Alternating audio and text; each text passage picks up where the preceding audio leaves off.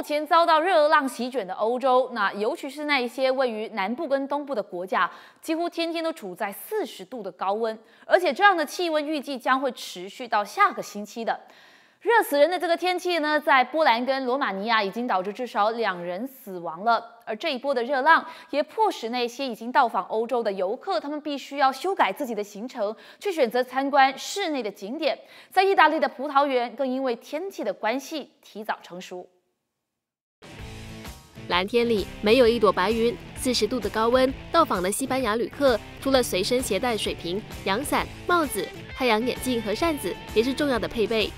别说人类受不了高温，怕热不怕冷，有着厚厚脂肪层的北极熊，高温天气更是一个大考验。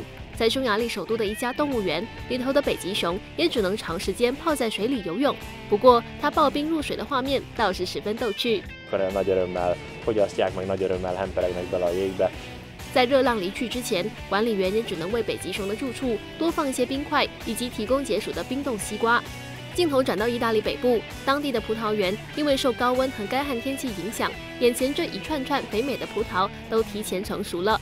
葡萄园里的员工也比去年早十天投入收割工作。就这样，一篮接着一篮，满满新鲜的葡萄就从园里运送到加工厂去了。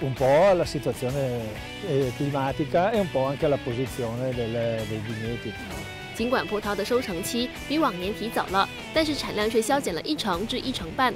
不过，酿制葡萄酒的业者认为，这些提早成熟的葡萄品质因为气候改变反而提高了。即使产量减少，估计今年可以酿出品质更好的葡萄酒。